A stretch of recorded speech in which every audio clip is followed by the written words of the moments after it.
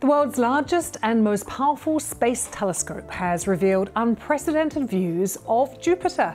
The James Webb Telescope took the pictures of the solar system's biggest planet. For months, astronomers said 3 Atlas would be a spectacular flyby. It was supposed to skim past Mars, put on a show, and then vanish into the dark. But new data from the James Webb Space Telescope changed everything. What once looked harmless now looks deliberate.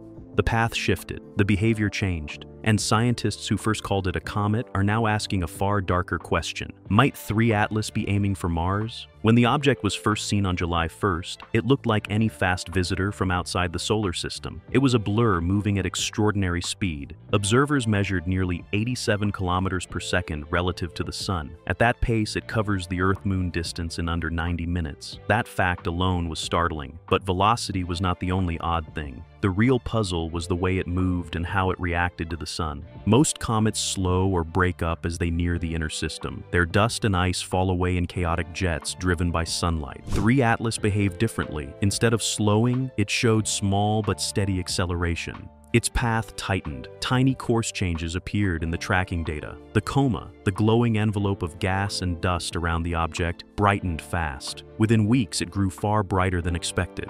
Spectra added more mystery. Telescopes saw spikes in ultraviolet energy. They also recorded carbon dioxide outgassing at rates never seen from a comet.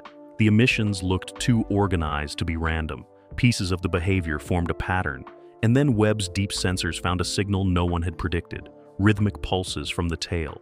These were not the random, erratic jets produced as ice sublimates. The pulses repeated at almost perfect 17-minute intervals. They looked like timed bursts. Scientists across observatories began to use words they had avoided for decades. Maneuver, thrust, control, the exhaust seemed to act like tiny thrusters, nudging the object in precise ways. When teams at Webb, Gemini South, and NASA's Jet Propulsion Laboratory kept watching, their models told a troubling story. A near miss had become a narrow miss. A narrow miss could become an impact. A revised impact distance appeared in the simulations, roughly 1.95 million kilometers from Mars. That is small in cosmic terms.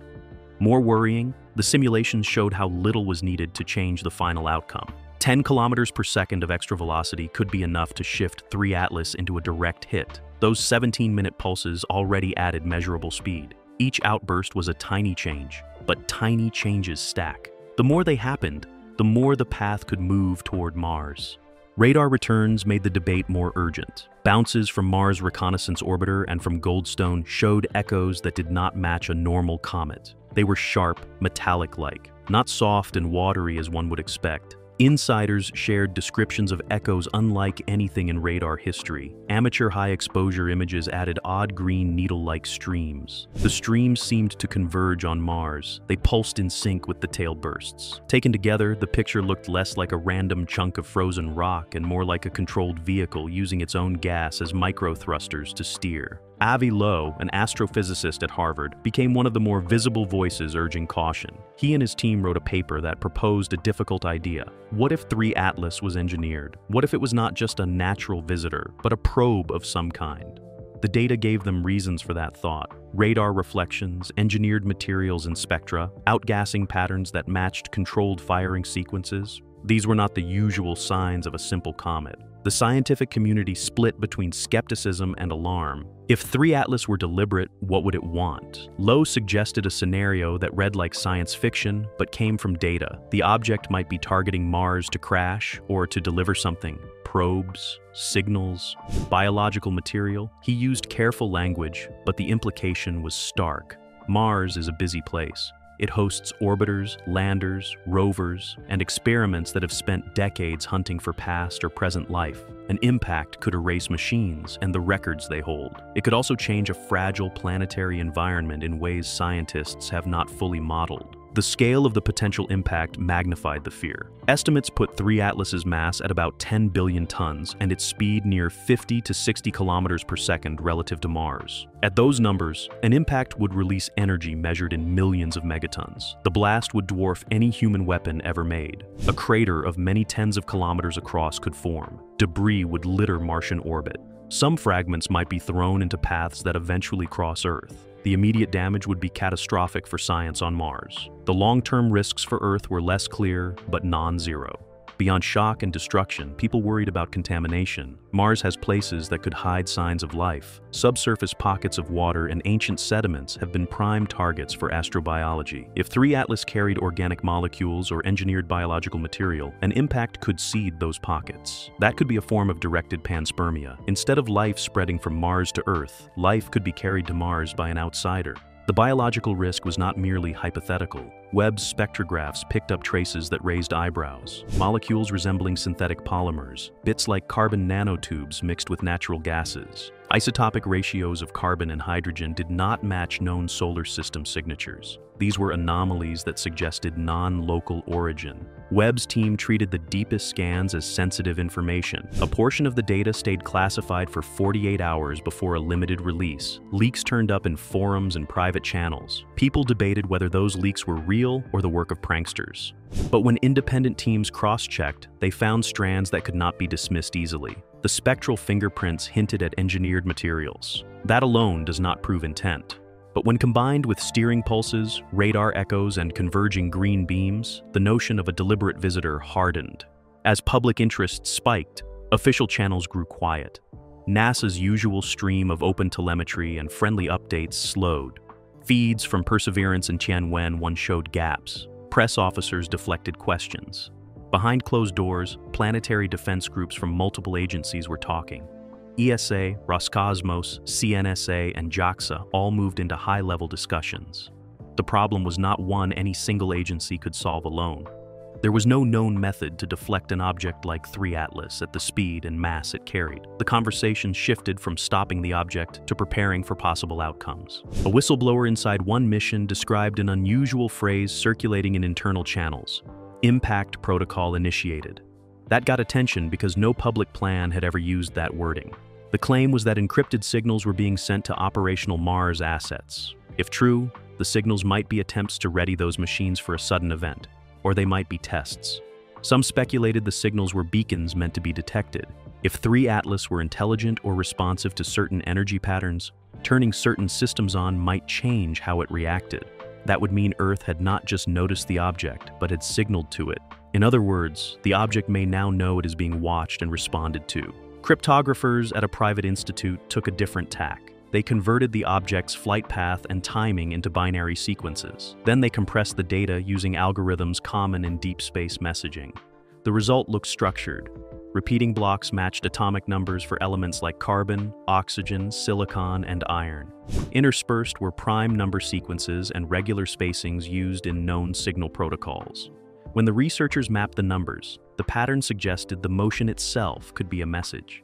The intervals and the pulses were part of a communicative event.